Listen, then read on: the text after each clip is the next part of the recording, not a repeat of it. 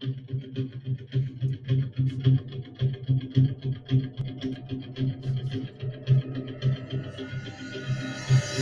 you.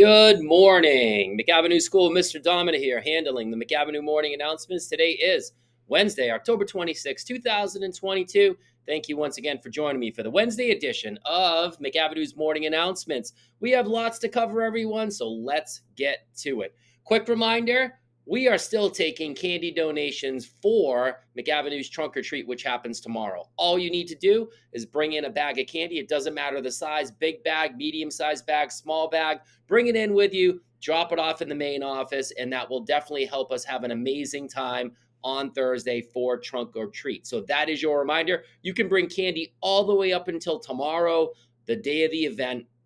So there's no need to worry if you don't have a bag of candy to donate today, you can always donate one tomorrow, right? And trunk or treat, that's right, still happening tomorrow on the 27th of October from 5 to 6:30 over at St. Rita's Church across the street in that back parking lot. The weather is going to be great even though it's been raining the last couple of days. I heard that the weather tomorrow is going to improve. It's going to be a nice mild evening, which is going to be great. No need to bundle up when it's super cold. It's going to be amazing. Don't miss out. Trunk or treat. McAvinnue style over at St. Rita's Church. It's going to be amazing. All right.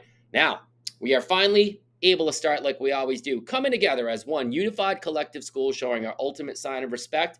You know it by reciting the Pledge of Allegiance. So let's stand up.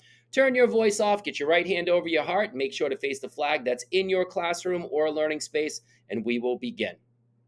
I pledge allegiance to the flag of the United States of America and to the republic for which it stands, one nation, under God, indivisible, with liberty and justice for all.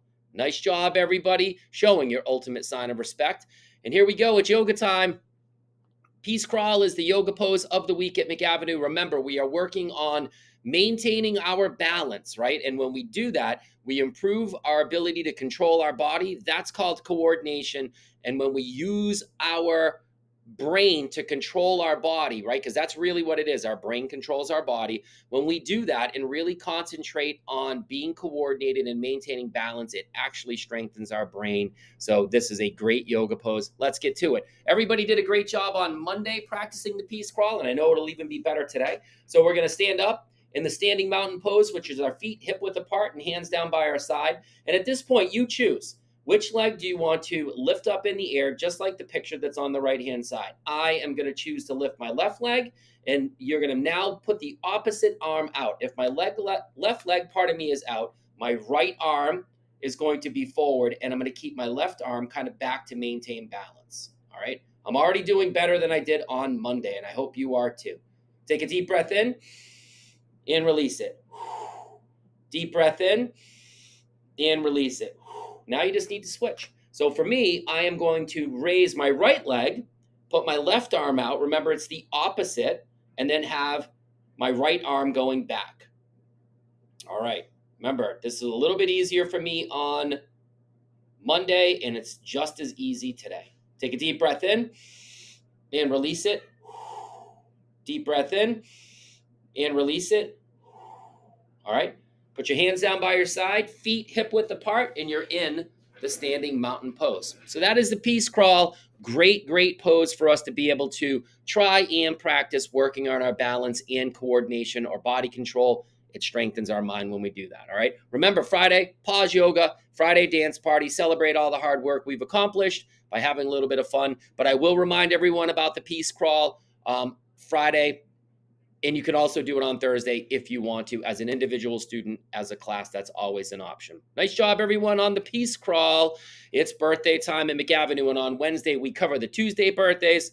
The Wednesday birthdays, and the Thursday birthdays. So let's get to it. On Tuesday, October 25th, which was yesterday, we had Julius's birthday in room 101, Bradford Lee's birthday in room 108, and Eifert birthday in room 203. And today, Wednesday, October 26th, we have Caillou's birthday in room 204. And tomorrow, Thursday, October 27th, we have Christy, Christia, Christia, yep, Christia's birthday in room 212A. A stands for the AM edition of pre K. And we have Seiden's birthday in room 203. So let's get our congratulations celebration. Round of applause, hands ready to go, so we can launch these birthdays in full McAvinnue style. Here we go. All right, stay tuned for the Friday edition because we do have more birthdays to cover. And remember, no more faculty birthdays after Miss Middleton's on Monday, so it'll just be student birthdays. Happy birthday, everyone that is on that list. All right, McAvinnue's joke of the day, the highlight for many of you. So let's get to it. It says, Why did the skeletons climb the tree? Hmm? Sticking with that Halloween or spooky theme. So, why did the skeletons climb the tree? Hmm. Think about that one. Do you have your guess prediction or suggestion locked in your mind? Could be a tricky one here. All right, so the skeletons climbed the tree because a dog was after their bones. Hmm. Remember, dogs love to gnaw on that bone. So the skeleton said, I'm getting up in the tree in a safe spot to get away from that dog. And there they are, up in a tree, getting away from the dogs. All right, so that's McAvinnue's joke of the day. Remember to share it with family and friends to get them to smirk, to get them to smile, and better yet, get them to laugh. That's the whole reason why you want to know these jokes and repeat them so that you can make someone else's day. That visual is a pretty good one, pretty funny. Um, and remember, stay tuned for Friday. We'll have another amazing edition of McAvinnue's Joke of the Day. All right. Only one good news story to share out. I do have a few that I will share out on Friday. Try to space those out, everyone. Take a look at that handsome gentleman there in room 310, fourth grader. His name's Caleb. He is the artist of the week. Now, Caleb put out an amazing, amazing effort. I believe it was using like the seven elements, I believe, of art that they were focusing on in his project that you see behind him on the easel. I believe that's accurate. I'm not 100% sure. Mr. Domina's old memory. Uh, not as sharp as it used to be, but all I know is that Caleb did an amazing job and recognized as Artist of the Week. So, congratulations, Caleb. I love that. Um, let's do our congratulations celebration round of applause uh, for Caleb's accomplishment. All right. And as I mentioned, there'll be more good news to share out on the Friday edition, as well as our ST Math update, maybe some few uh, details about ST Math's November challenge. It's just going to be at McAvinnue called McAvinnue's Turkey Trot, ST Math Challenge Turkey Trot, pardon me. Um, it's going to be amazing. Um, I'm going to be meeting with Mrs. Belarose this morning to put some of the final details out. So we'll share out what that's going to look like, the time range, when that's going to happen. It's going to be amazing. All right. So that is it. We are moving on. When you see that blank uh, purple rug, um, you know it's time to talk about McAvinnue's core values. What's the first one, everyone? All right, I like that. That is respect. You are correct. What is the second one? Bingo, responsibility. And that last one? All right, nice job. It is safety. So I want to focus on safety today. It is raining outside, and I know that when we go in and out of the building and our feet are wet, even though the floors are dry at McAvinnue, it can be very slippery. There's leaves everywhere. So today's safety challenge is simple. When you're entering the building, you are walking at all times. All right. When you're moving throughout the building throughout the day, you are walking at all times. I spent a lot of time upstairs on the third floor between the fourth grade and third grade hallway, and I saw multiple kids running in the hallway, not just jogging in the hallway or speed walking, actually running in the hallway. So I spent a lot of time up there yesterday afternoon reminding kids what they needed to do to move around the building. It doesn't matter if there's an adult out in the hallway, you have to follow those rules. And one of the number one safety rules at McAvinnue is walk at all times in the building. There's never a need to run unless you're in the gymnasium or at recess. All right. That's it. Simple safety challenge, especially on a rainy day when your feet are going to be wet. You don't want to slip on the floors. That's a simple one to do. Give me a double thumbs up if you think you can do that safety challenge.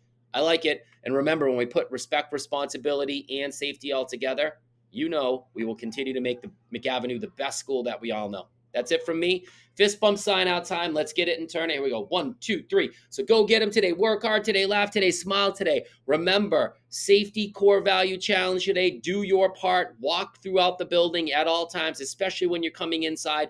When you have wet feet, if you might even be able to get outside for a little bit of recess time, if it's not raining out, when you come in with your wet feet, you have to be very careful Um, you don't want to slip and fall, but also just move around the building safely by walking at all times try very hard on all of your work. Again, I was in three more classrooms yesterday doing some observations. I saw a lot of great lessons. I saw a lot of great effort by the students. I'm going to be coming into more classrooms today, so I can't wait to see what's happening. Put out that that effort that we expect from you. It's going to be amazing. I can't wait to see the work that you're doing. That's it. You'll catch up with me in all the usual places, which is everywhere. Go get them. Take it easy, and I'll see you soon.